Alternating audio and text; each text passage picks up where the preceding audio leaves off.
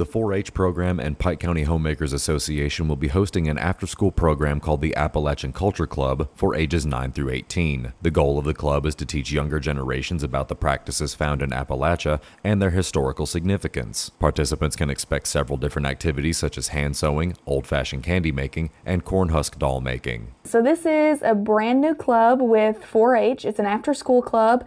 Um, so I got the idea during the summer, and the the first thing that came to my mind was um, Appalachian studies, and I wanted to do something similar to Appalachian studies.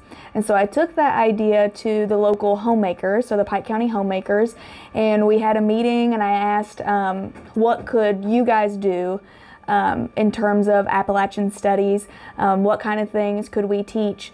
Um, and they had tons and tons and tons of ideas to um, keep Appalachian culture alive. Each of these um, classes will have a little history lesson to why people in Appalachia did chicken scratch, why we made corn husk dolls, um, why we made this particular type of candy.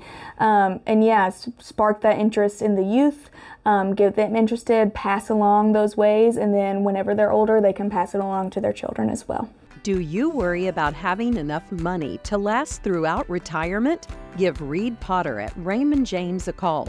Reed has 26 years' experience helping folks enjoy their best life in their retirement years. Educators at the Extension office are hoping to instill a new sense of appreciation for Appalachian heritage through teaching these classes. Sign-ups are available by contacting the Extension office at 606 432 2534. I know a lot of times um, young people in the area look to leave the area. They don't want to stay. They want to um, leave the region and maybe um, go somewhere else. And hopefully, this would give them an appreciation for where we are, which is very special.